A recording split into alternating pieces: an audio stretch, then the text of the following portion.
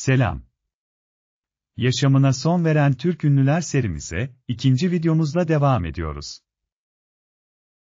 Oyuncu Muhteşem Demir'a, 21 Ekim 2003 tarihinde, Bodrum Yalıkavak'taki çiftlik evinde intihar etti. 30 kadar filmde rol almış olan 49 yaşındaki Demirağ'ın cesedi, balkonda asılmış olarak bulundu. Uzun süredir depresyon tedavisi gören oyuncu, şarkıcı Rüçhan Çamay ile sinemacı Turgut Demirağ'ın oğlu, şarkıcı Melike Demirağ'ın abisiydi. Tiyatro ve sinema oyuncusu Arda Kampolat, 15 Haziran 2004 tarihinde, Ali Özgen Türk'ün çekimlerine başladığı Kalbin Zamanı filminin tanıtımı için yapılan basın toplantısında, Pera Palace Oteli'nin asansör boşluğunda ölü bulundu. 25 yaşındaki oyuncunun ailesi bunun bir kaza olduğunu söylese de, Kampolat'ın, yönetmen Ali Özgen Türk'ün, performansından memnun olmadığı için bunalıma girip, intihar ettiği iddiası ağırlık kazandı. Banker Kastelli olarak tanınan iş adamı Cevher Özden, 2 Haziran 2008 tarihinde, İstanbul Kadıköy'deki ofisinde, silahıyla ağzına ateş ederek, hayatına son verdi. 1980'li yıllarda yaşanan en büyük bankerlik skandalının kahramanı olan Cevher Özden, savcılığa, avukatına, yakınlarına ve Yıldırım Demirören'e altı kısa not bıraktı. Özden 75 yaşındaydı. Asmalı Konak dizisindeki Haydar karakteriyle tanınan oyuncu Yaman Tarcan, 2 Mayıs 2009 tarihinde Kadıköy'deki evinde tabancayla intihar etti. Yakın arkadaşı Tarık Akan, 50 yaşındaki Tarcan'ın son bir yıldır işsiz olduğunu ve sürekli intihardan söz ettiğini bildirdi. Oyuncu Çağatay Emek Mıdıkhan, 24 Haziran 2010 tarihinde Kadıköy'deki evinde intihar etti.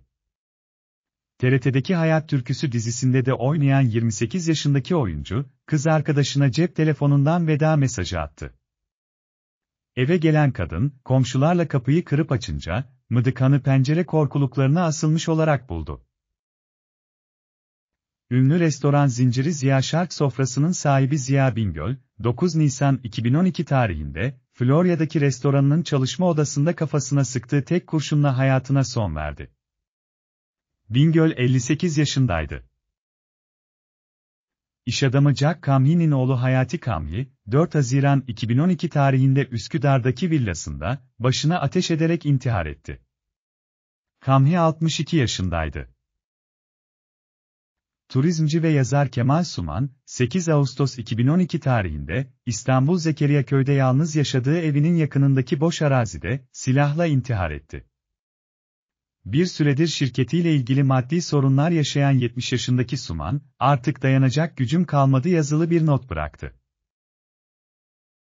Türkiye'nin en büyük armatörlerinden 63 yaşındaki Murat Kalkavan, 19 Eylül 2012 tarihinde, Bebek'teki evinde ölü bulundu.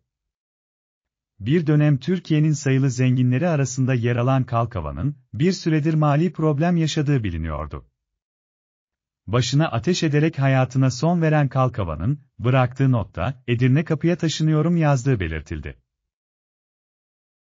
Yazar ve senarist Metin Kaçan, 6 Ocak 2013 tarihinde, Boğaziçi Köprüsü'nden atlayarak, hayatına son verdi. Karikatürist Hasan Kaçan'ın kardeşi olan 51 yaşındaki Metin Kaçan'ın en çok bilinen romanı, filmi de çekilen ağır romandı. Metin Kaçan, 1995 yılı Şubat ayında, spiker Alp Budaycı ile birlikte, bir kadına tecavüz ve işkence suçlamalarıyla hüküm giymiş ve hapis cezası almıştı.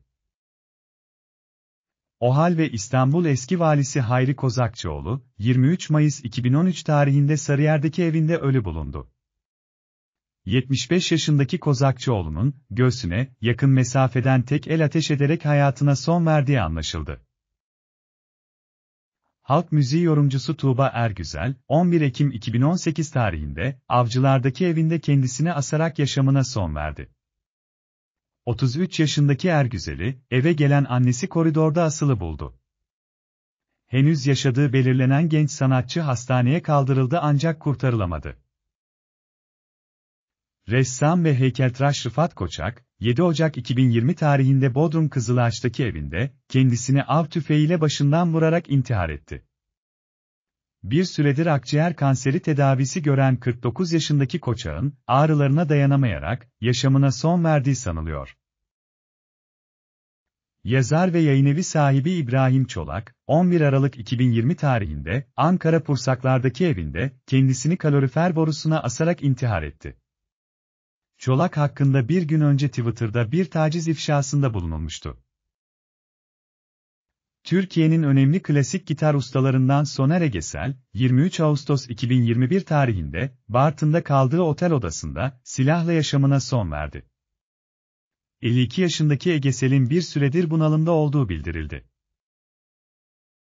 Besteci, müzisyen ve klip yönetmeni İlyas Tetik, 5 Temmuz 2021 tarihinde Tarabya'daki evinin çatısında, kendisini asarak, hayatına son verdi.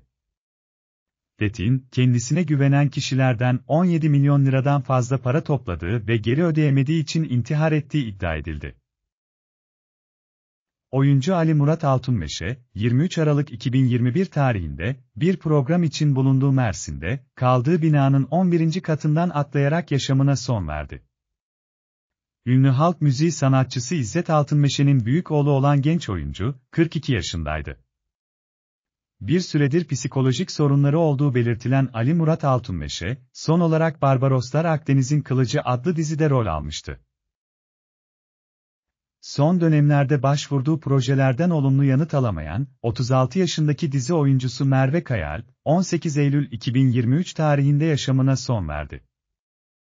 Muğla'nın Dalaman ilçesinde, babasının ruhsatlı silahıyla canına kıyan Kayal, Sakarya Fırat, Küçük Kıyamet, Elif, Şeref Meselesi ve Savaşçı dizilerinde rol almıştı. Kanalımıza abone olmayı unutmayınız.